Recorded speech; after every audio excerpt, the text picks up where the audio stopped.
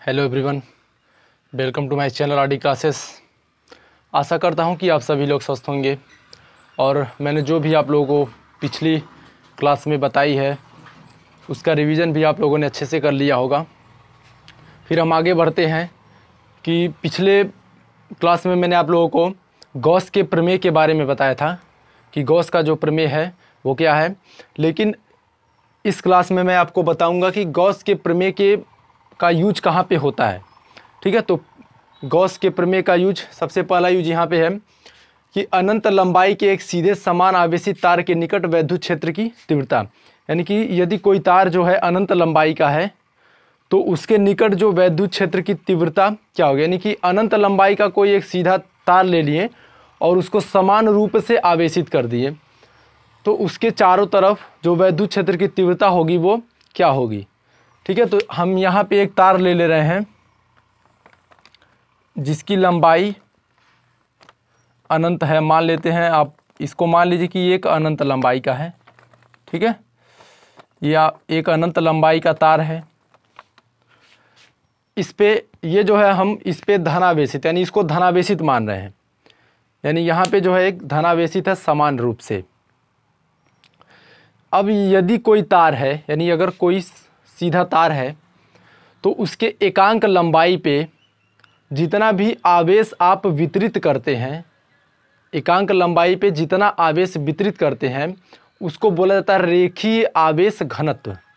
या ऐसे बोल दे, आवेश का रेखीय घनत्व। ठीक है? इसको लैम्डा से प्रदर्शित करते हैं। आवेश का रेखीय घनत्व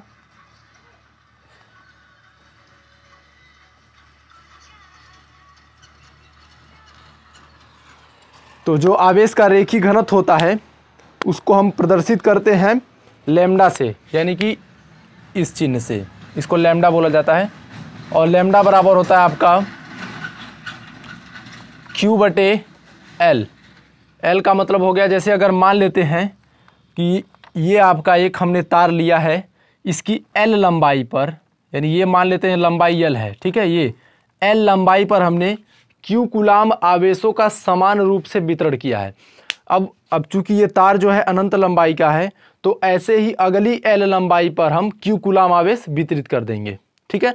यानी कि प्रत्येक एक नियत लंबाई, यानी कि जैसे यहाँ पे यल लंबाई लेकर चल रहे हैं, एक नियत लंबाई पे हम समान रूप से जो है आवेश का वितरण कर देंगे तो उसको बोलेंगे रेखीय, आवेश का रेखीय घनत्व।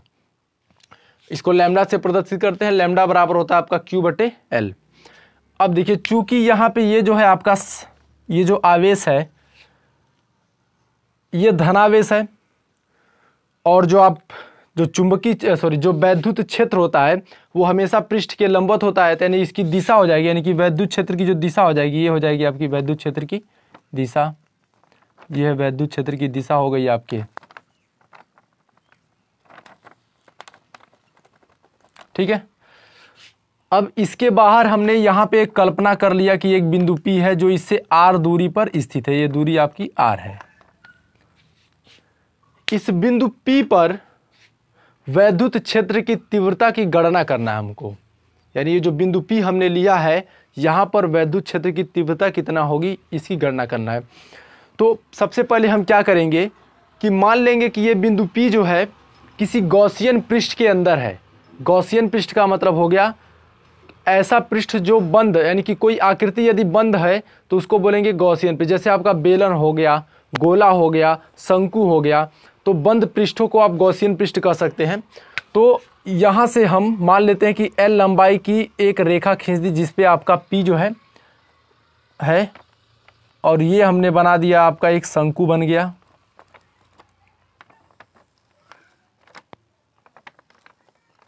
ठीक है? जिसकी लंबाई जो है एल है। ये शंकु बन गया, जिसकी लंबाई एल है, इसके अंदर आपका बिंदु पी है। अब इस पर वैद्युत क्षेत्र की तीव्रता की आपको गणना करना। अब देखिए, यहाँ पे ये जो शंकु हमने सॉरी ये जो हमने बेलन लिया है, इस बेलन के तीन भाग हैं। ये आपका हो गया एस वन ये हो गया आपका एस टू और ये हो गया आपका एस थ्री जैसे सपोज़ दैट ये आपका मार्कर जो है, यहाँ पे देखिए ये बेलन है तो एक भाग इसका ये हो गया एक ये हो गया और ये एक आपका ये वाला। यानी कि इसके तीन पार्ट हमने मान लिया, यानी कि तीन भाग हो गए इसके एस वन एस टू और एस थ्री ठीक है?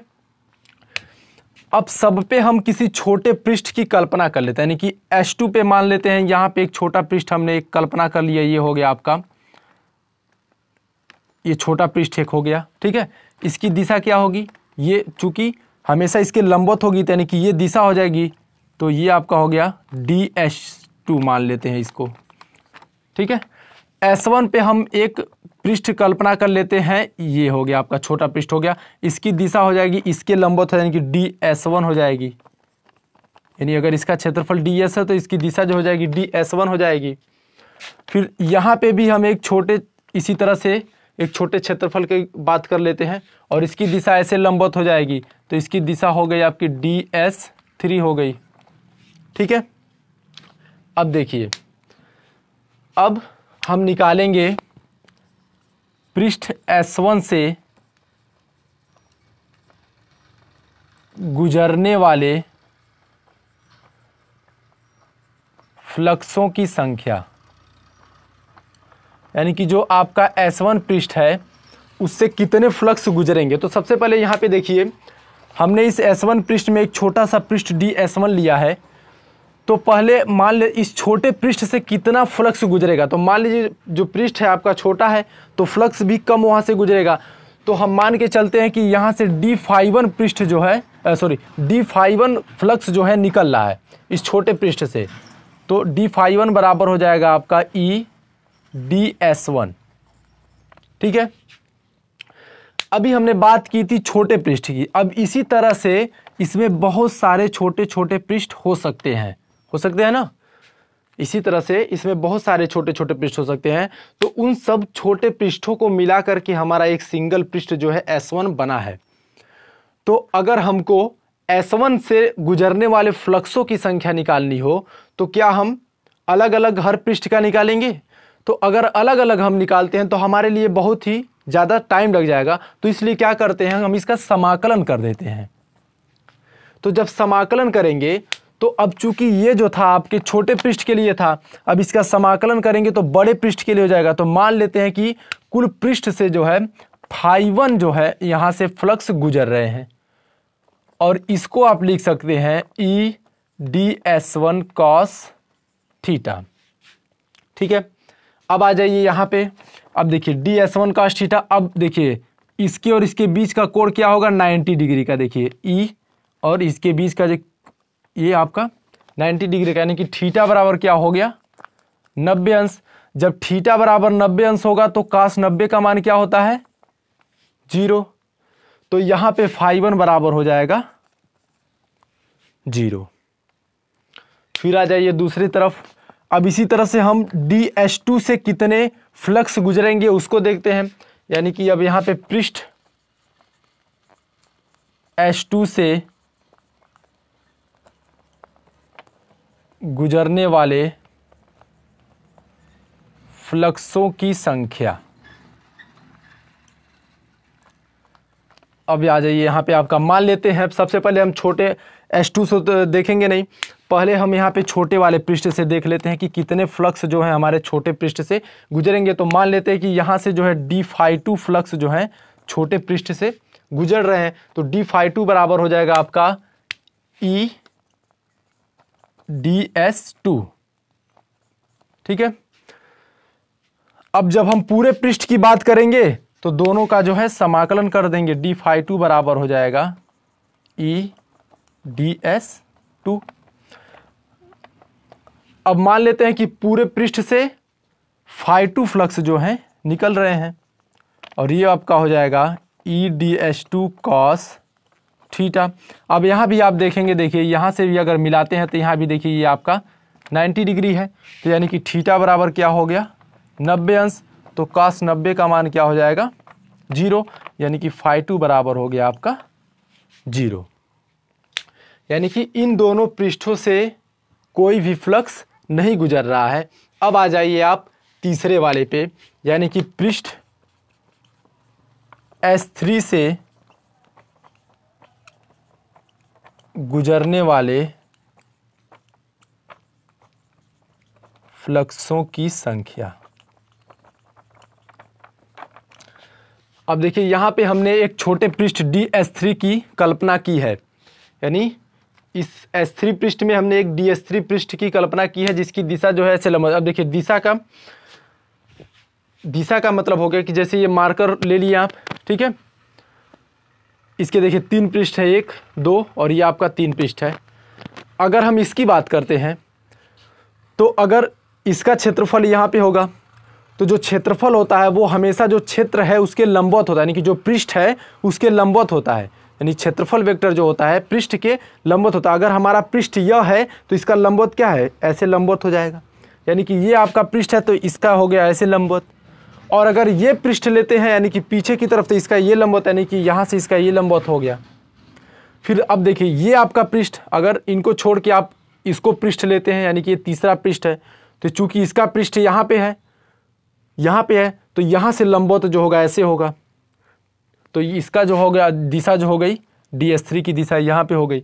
तो यहाँ पे हमने एक डी एस थ्री छोटे पृष्ठ की कल्पना की है, जिसकी दिशा यहाँ पे आपके यहाँ से डी एस थ्री की दिशा और वैद्युत क्षेत्र की दिशा। दोनों की दिशा जो है समांतर है।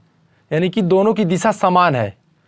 सॉरी दोनों की दिशा जो है समान है। यानी कि दोनों एक दूसरे के समांतर है, ऐसे कह लीजिए।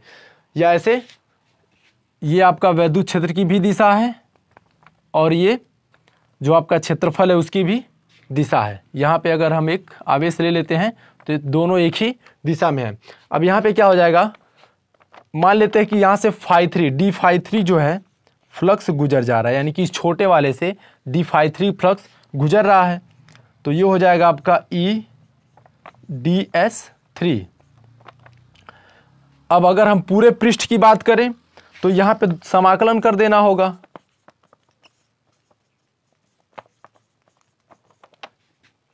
अब देखिए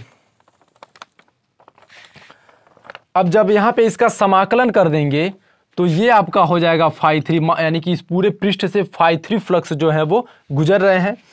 तो इसको लिख सकते हैं E D S three cos theta. अब चूँकि देखिए, इन दो, ये दोनों जो हैं, एक ही दिशा में है। यानी कि यहाँ पे क्षेत्रफल वेक्टर की दिशा और आपके वैद्युत क्षेत्र की दिशा दोनों जो है समान है तो यानी कि थीटा बराबर क्या हो जाएगा? ज़ीरो अंश। और कास ज़ीरो का मान क्या होता है? एक होता है तो फाइव थ्री बराबर क्या हो जाएगा आपका? E D S three. या इसको ऐसे लिख सकते हैं फाइव थ्री बराबर ई e को बाहर ले सकते हैं और डी एस थ्री। ठीक है? अब देखिए डी एस थ्री। इस पूरे डी एस थ्री का मतलब हो गया कि ये जो आपका भाग है, इसका क्षेत्रफल मतलब कि ये, जैसे आपका बेलन है, बेलन के इस भाग का क्षेत्रफल। तो बेलन के इस भाग का क्षेत्रफल हो गया मतलब हो गया बेलन का वक्र पृष्ठ। इसी भाग का ना, इन दोनों की बात नहीं हो रही है। इन दोनों की बात होती संपूर्ण पृष्ठ हो जाता, लेकिन सिर्फ़ इस भाग का, यानी कि जो गोलाई वाला भाग है उसकी तो इसको बोला जाता है बेलन का वक्र पृष्ठ, और बेलन का वक्र पृष्ठ होता है टू पाई आर एच होता है, लेकिन यहाँ पे हमने एल लंबाई का लिया है। ये जो लंबाई है, एल ली है तो यहाँ पे लिख देंगे चूँकि डी एस थ्री बराबर होता है आपका टू पाई आर एल। तो फाइव थ्री बराबर हो जाएगा आपका E two pi R L. हो गया? अब देखिए, अब यहाँ पे गॉस के प्रमेय से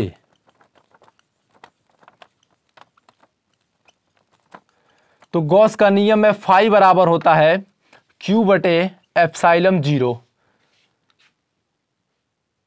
सॉरी, थोड़ा सा यहाँ पे देख लीजिए आप लोग। अब यहाँ पे कुल आवेश सॉरी कुल जो फ्लक्स कितने गुजरेंगे? अब यहाँ पे सबसे पहले हम निकाल लेंगे कि कुल कितना फ्लक्स जो है यहाँ से गुजरेगा। तो इसके लिए क्या हो जाएगा? मान लेते कुल फाइव फ्लक्स है तो फाइव बराबर हो जाएगा phi one plus phi two plus phi three तो फाइव वन फाइव टू तो आपका ज़ीरो है, और यह रह गया आपका phi three E two pi R L यानी कि फाइव बराबर हो गया E two pi R L ठीक है? अब यहाँ पे देखिए, गॉस के प्रमेय से क्या है? फाइव बराबर है आपका क्यू बटे एप्साइलम, ज़ीरो। तो यहाँ पे हम फाइव के जगह पे रख सकते हैं, क्यू बटे एप्साइलम, ज़ीरो बराबर हो जाएगा E two pi R L. ठीक है? परंतु, अब यहाँ से आप देख लीजिए, लैम्डा बराबर है क्यू बटे एल। तो यहाँ पे क्या हो जाएगा? परंतु क्यू बराबर हो जाएगा लैम्डा इंटू एल लेमडा गुड़े एल अब यहाँ पे आप रख देंगे, तब लेमडा गुड़े एल बटे एप्साइलम ज़ीरो बराबर E two pi R L अब ई बराबर हो जाएगा आपका लैम्डा गुड़े एल बटे epsilon zero two pi R L L से एल आपका कट गया तो ई बराबर हो जाएगा लैम्डा बटे टू पाई एप्साइलम ज़ीरो और ये जो हो गया आपका वैद्युत क्षेत्र की तीव्रता हो गया, यानी कि इस ये जो आपने तार लिया है अनंत लंबाई का, उसके द्वारा उसके चारों तरफ़ जो वैद्युत क्षेत्र की तीव्रता होगी, ई बराबर हो जाएगा लेमडा बटे two pi epsilon zero into R. ठीक है? तो ये जो है आपका गॉस के नियम का पहला यूज़ है। फिर आगे मैं बताता हूँ गॉस के नियम का जो दूसरा यूज़ है। ठीक है? तो हमारा दूसरा यूज़ जो है, दूसरा अनुप्रयोग है गौस के प्रमेय का।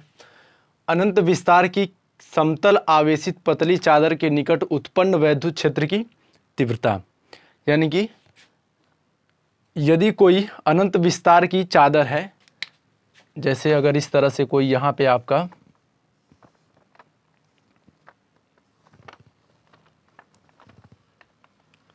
ये कोई चादर है, ठीक है? तो ये आपके अनंत लंबाई की है। इसके निकट अगर कोई बिंदु हम ले लेते हैं तो उस पर जो है वैधु जो वैधु क्षेत्र उत्पन्न होगा, उसकी तीव्रता कितनी होगी, उसकी गणना कैसे करेंगे? तो सबसे पहले यहाँ पे बात करते हैं हम कि ये जो हमने कोई एक पृष्ठ ले लिया है, जो क्षेत्रफल पृष्ठ है, ठीक है, ये क्षेत्रफल है। और यहाँ पे जो है धन आवेश वितरित कर दिए।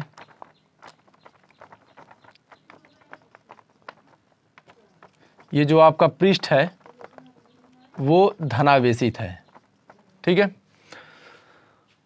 अब यदि किसी एकांक क्षेत्रफल पर, किसी एकांक क्षेत्रफल पर समान रूप से वितरित आवेश को, किसी एकांक क्षेत्रफल पर समान रूप से वितरित आवेश को आवेश का पृष्ठ घनत्व कहते हैं। यानी जैसे अगर कोई एकांक क्षेत्र, यानी मान लीजिए कि इसका क्षेत्रफल जो है हमने ए ले लिया ठीक है?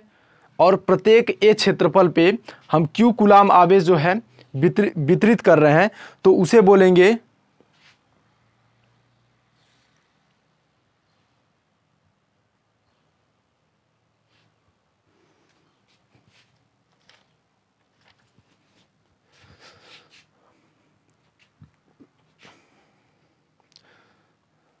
अब देखिए, जैसे यहाँ पे ये कोई अनंत लंबाई की एक चादर है जिस पे हमने धनावेशित किया, यानी कि ये जो चादर आपकी धनावेशित है। अब यहाँ पे ए लंबाई सॉरी अगर इस चादर के किसी ए क्षेत्रफल पे क्यू कुलाम आवेश वितरित है, ठीक है? यदि ए क्षेत्रफल, यानी कि मान लीजिए कि जो अनंत लंबाई की चादर है, उसमें कोई ए क्षेत्रफल है, और उस पर क्यू कुलाम आवेश हमने वितरित किया गया है तो उसे बोलते हैं आवेश का पृष्ठ घनत्व, और इसे सिग्मा से प्रदर्शित करते हैं। आवेश का पृष्ठ घनत्व, इसको सिग्मा कहते हैं, और सिग्मा बराबर होता है आपका क्यू बटे ए। ठीक है? आवेश का पृष्ठ घनत्व सिग्मा बराबर होता है क्यू बटे ए। पृष्ठ घनत्व का मतलब हो गया कि किसी एकांक क्षेत्रफल पे, किसी एकांक क्षेत्रफल पे वितरित आवेश, यानी अगर कोई एक, जैसे मान लीजिए कि इसका क्षेत्रफल हमने ए ले लिया है और अब प्रत्येक ए क्षेत्रफल पे हम क्यू कुलाम आवेश जो है वितरित करेंगे तो इसको बोलेंगे आवेश का पृष्ठ घनत्व ठीक है? अब इसके बाद देखिए, यहाँ पे हमने कोई बिंदु ले लिया है। इस बिंदु पे हमको वैद्युत क्षेत्र की तीव्रता बताना है। अब इस चादर के कारण इस बिंदु पे जो वैद्युत क्षेत्र की तीव्रता होगी, उसको हमको बताना है। अब उसके लिए क्या करना होगा? तो यहाँ भी हम मान एक, इसको थोड़ा नज़दीक लेते हैं। यहाँ भी हम एक गौसियन पृष्ठ की कल्पना करेंगे और ये गौसियन पृष्ठ जो होगा इसको आर पार करके, यानी कि ये जो आपका पृष्ठ यानी कि जो क्षेत्रफल है, चादर है, उसको आर पार करके। जैसे अगर ये चादर ले लेते हैं हम तो ऐसे मतलब यहाँ पे एक ऐसा बेलन बनाएँगे, ठीक है? ऐसे एक। तो यहाँ पे, ये देखिए, ये आपका बन गया।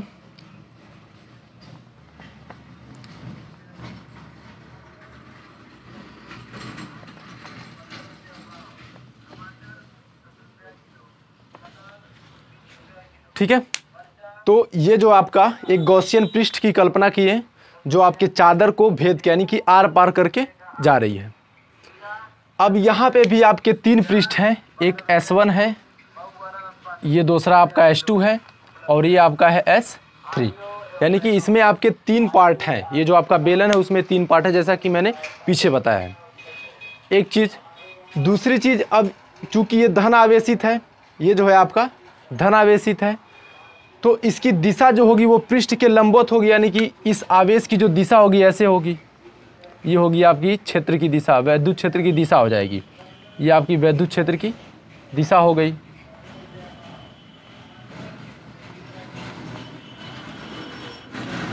यानी कि जो वैद्युत क्षेत्र की दिशा हुई, जो वैद्युत क्षेत्र की दिशा होगी, वो बेलन के पृष्ठ के समांतर होगी। यानी कि जो आपका बेलन का पृष्ठ है, उसके समांतर निकलेगी। ठीक है? अब यहाँ पे देखिए, अब आप एस वन पृष्ठ पे आ जाइए, यहाँ पे भी कोई बिंदु हम ले लेते हैं यहाँ पे। ठीक है? यहाँ पे अगर कोई पृष्ठ हम ले लेते हैं डी एस वन इसकी आपकी दिशा ये हो जाएगी, देखिए ये D S one D S one अब इससे होकर गुजरने वाले पृष्ठ की संख्या फ्लक्स की संख्या निकालेंगे। यानी कि S1 से गुजरने वाले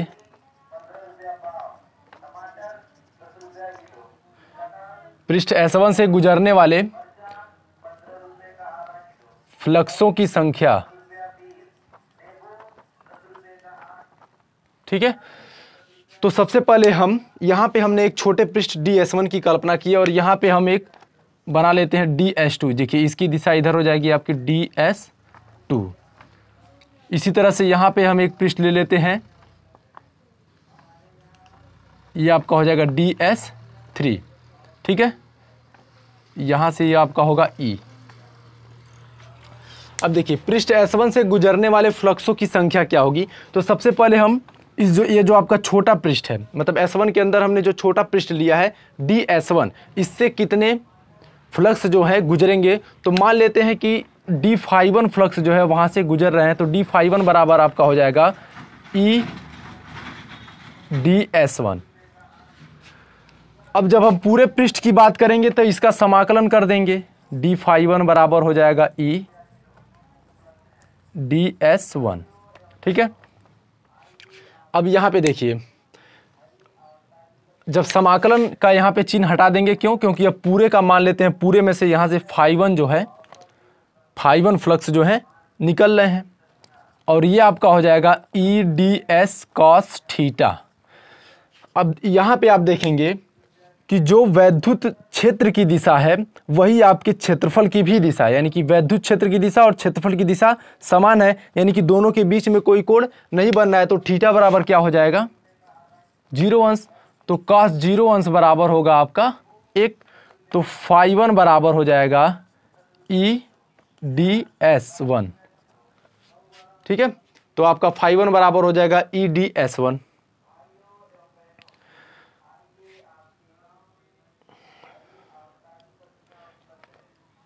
इसको मान लीजिए डी एस वन बराबर हम मान लेते हैं ए तो फाइव फाइव वन बराबर क्या हो जाएगा? ई ए ये हो गया आपका समीकरण। चलिए इसको छोड़िए। ठीक है? फाइव वन बराबर हो गया ई ए फिर इसी तरह से हम आप, आ जाते हैं दूसरे पृष्ठ पे अपने, ये मान लेते हैं, ये आपका दूसरा पृष्ठ हमने दिया है। ठीक है? तो एस टू पृष्ठ एस टू से गुजरने वाले फ्लक्सों की संख्या। अब यहाँ पे S2 पे हमने ये छोटा सा पृष्ठ लिया है डी एस टू ये आपका सॉरी ये डी एस थ्री होगा और ये डी एस टू होगा। यहाँ पे हमने एक छोटा सा पृष्ठ ले लिया है आपका डी एस टू तो पहले डी एस टू से कितने फ्लक्स गुजरेंगे उसको निकालना है। तो डी एस टू से मान लीजिए कि फाइव टू फ्लक्स जो है, निकल रहे हैं डी फाइव टू तो डी फाइव टू बराबर आपका हो जाएगा D E into D S two ठीक है? अब समाकलन कर देंगे। पूरे पृष्ठ, यानी कि अब इस पूरे पृष्ठ से कितने फ्लक्स निकलेंगे तो उसके लिए समाकलन कर देंगे दोनों साइड का। तो जब समाकलन करेंगे तो ये आपका फाइव टू हो जाएगा, यानी कि मान ले रहे हैं कि कुल फाइव टू फ्लक्स जो है, इस पूरे पृष्ठ से निकल रहा है। और ये आपका हो जाएगा E D H two cos theta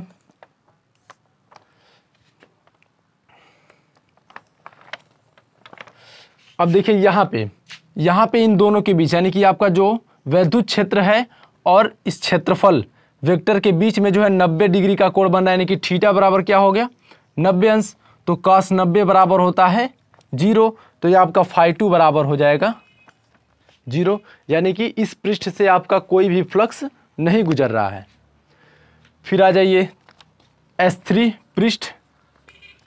S three से होकर गुजरने वाले फ्लक्सों की संख्या तो आपका S3 से कितना फ्लक्स गुजर रहा है? अब देखिए S3 पे हमने यहाँ पे एक छोटा क्षेत्र लिया क्या? DS3 तो पहले हम निकालेंगे कि DS3 से कितना फ्लक्स गुजर रहा है। तो मान लेते हैं कि DS3 से D53 जो है फ्लक्स गुजर रहा है। तो D53 आपका हो जाएगा E DS3 ठीक है? अब अब पूरे पृष्ठ पे, यानी कि पूरे S3 पे हमको निकालना है। तो इसका समाकलन कर देंगे। तो ये आपका हो जाएगा पूरे पृष्ठ से मान लेते हैं कि फाइव थ्री निकल रहा है तो यहाँ पे इसको फाइव थ्री लिख देंगे। ई e बाहर हो जाएगा आपका। सॉरी अब ये आपका हो जाएगा E D S three cos theta. अब यहाँ पे भी देखेंगे, जो आपके वैद्युत क्षेत्र की दिशा है, वही दिशा इस क्षेत्रफल वेक्टर की भी है, यानी कि दोनों जो है लंबवत निकल रहे हैं। ऐसे समझिए, जैसे देखिए, ये आपका मान लेते हैं कि ये आपका पृष्ठ है, ठीक है, इस पर हमने जो है धन आवेश को वितरित किया है। तो जो, चूँकि धन आवेश है तो धन आवेश से जो वैद्युत क्षेत्र की तीव्रता होगी तो ऐसे सीधे लंबवत होगी, यानी कि पृष्ठ के लंबवत होगी, वैद्युत क्षेत्र की तीव्रता। और ये जो है आपका पृष्ठ हमने, यानी कि ये जो आपका बेलन में लिया गया है तो बेलन का जो क्षेत्रफल वेक्टर होगा, वो भी ऐसे लंबवत होगा। यानी कि दोनों के बीच में कोई कोण नहीं बनना है तो यहाँ पे थीटा बराबर क्या होगा आपका? ज़ीरो अंश। तो कास ज़ीरो का मान होता है एक तो फाइव थ्री बराबर हो जाएगा ई डी एस थ्री। इसको ऐसे ई e को बाहर ले सकते हैं। डी एस थ्री हो जाएगा। अब मान लेते हैं कि ए बराबर ए बराबर हो गया आपका डी एस थ्री ठीक है? तो ए भी आपका फाइव थ्री बराबर क्या हो जाएगा? ई e ए अब यहाँ से कुल फ्लक्सों की संख्या निकाल लीजिए। यानी कि कुल जो है, इस बेलन से कुल कितने फ्लक्स निकल रहे हैं? यानी कि कुल फ्लक्सों की संख्या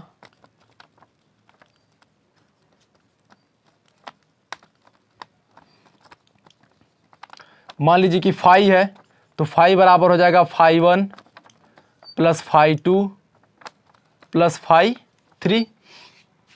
अब देखिए आपका फाइव वन कितना है, यहाँ पे देखिए, ई ए फाइव टू आया है ज़ीरो प्लस ई ए, यानी कि फाइव बराबर हो जाएगा टू ई ए।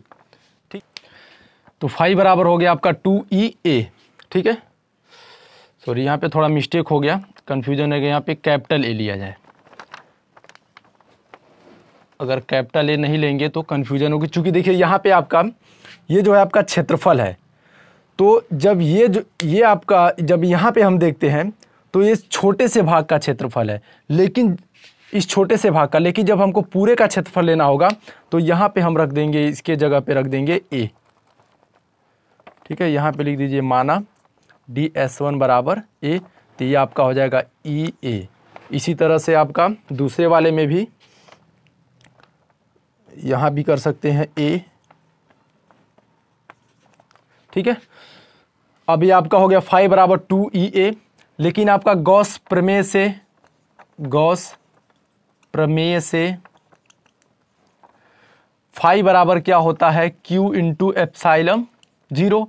तो यहाँ पे रख देंगे क्यू बटे एप्साइलम ज़ीरो सॉरी क्यू बटे एप्साइलम ज़ीरो, और ये हो जाएगा आपका टू ई ए अब देखिए, यहाँ यहाँ से अगर देखें हम तो ए बराबर क्या हो जाएगा? सिग्मा बटे क्यू यहाँ हो जाएगा ना ए बराबर हो जाएगा सिग्मा बटे क्यू या ऐसे भी कर सकते हैं क्यू बराबर हो जाएगा ए इंटू सिग्मा। तो यहाँ पे लिख सकते हैं, परंतु Q बराबर होता है आपका ए गुड़े सिग्मा। तो यहाँ पे रख दीजिए ए गुड़े सिग्मा बटे एप्साइलम ज़ीरो बराबर टू ई ए। अब देखिए यहाँ से ए और ये कट जाएगा। आपका बचेगा क्या? ई बराबर हो जाएगा सिग्मा बटे टू एप्साइलम ज़ीरो। यहाँ से आपका ये हो जाएगी वैद्युत क्षेत्र की तीव्रता ई बराबर एप्साइलम ज़ीरो सॉरी ई बराबर सिग्मा बटे टू एप्साइलम ज़ीरो। ठीक है? तो आप इसका स्क्रीनशॉट भी ले सकते हैं। ठीक है दोस्तों? तो यदि हमारी वीडियो आपको पसंद आई हो तो वीडियो को ज़्यादा से ज़्यादा लाइक और शेयर कीजिए। और यदि आपको कोई भी दिक्कत हो तो आप उसको कमेंट बॉक्स में ज़रूर लिखिए। और अगर आपको वीडियो जैसी भी लगी, अच्छी लगी हो, तब भी आप उसको कमेंट में, कमेंट कीजिए हमको। और साथ ही में अगर आप नए व्यूअर हैं तो हमारे चैनल को सब्सक्राइब ज़रूर कीजिए और बेल आइकन दबाना ना भूलिए, जिससे हमारी नई वीडियो आप तक आसानी से पहुँच सके।